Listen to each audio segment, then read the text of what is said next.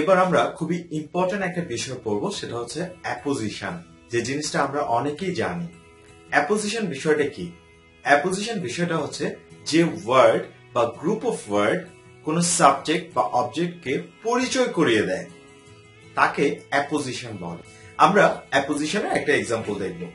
যেমন এখানে বলা হচ্ছে যে mister Rony a prominent teacher is here খেয়াল করেন এ প্রমিনেন্ট টিচার এই যে গ্রুপ অফ ওয়ার্ডস এই গ্রুপ অফ ওয়ার্ডসটা কথা বলছে মিস্টার রনি সম্পর্কে। অর্থাৎ মিস্টার রনি সম্পর্কে কথা বলছে।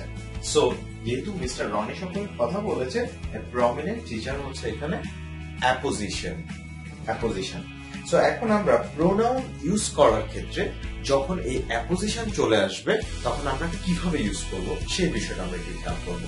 সো একটা জিনিস মাথায় রাখব আমরা, যখন অ্যাপোজিশনটা যদি হয় কোনো সাবজেক্ট সম্পর্কে বলে, আর সেই অ্যাপোজিশনে আমরা কোনো প্রোনাউন ইউজ করি, সেটা অবশ্যই সাবজেক্টিভ ফর্ম করে ইউজ করব। আর যদি অ্যাপোজিশনটা কোনো অবজেক্টের হয়, কোনো অবজেক্ট সম্পর্কে কথা বলে, সেক্ষেত্রে অবশ্যই সে প্রোনাউনটাকে আমরা অবজেক্টিভ ফর্ম করে ইউজ করব। সো আমরা কিছু এক্সাম্পল দেখব এই মোমেন্টে প্রথম এক্সাম্পলে বলা হচ্ছে the investors John and he oblique him oblique his অর্থাৎ জন অ্যান্ড যে প্রোনাউনটা আছে, এই প্রোনাউনটার কথা বলছে ইনভেস্টর সম্পর্কে। সো ইনভেস্টর হচ্ছে এখানে সাবজেক্ট আর ভার্ব হচ্ছে ওয়ার সো আমরা স্বাভাবিক অর্থে বুঝতে পারছি যে জন অ্যান্ড এখানে যে প্রোনাউনটা হবে, সেটা অবশ্যই আমরা সাবজেক্টিভ ফর্ম করে ইউজ করব। সাবজেক্টিভ ফর্ম করে ইউজ করব।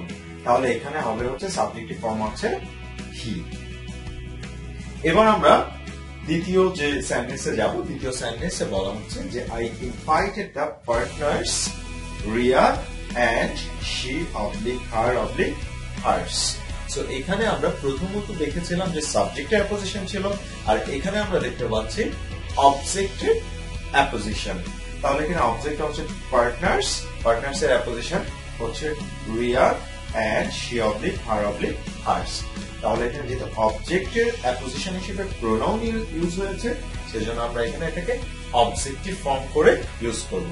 সো এইখানে হবে হচ্ছে হার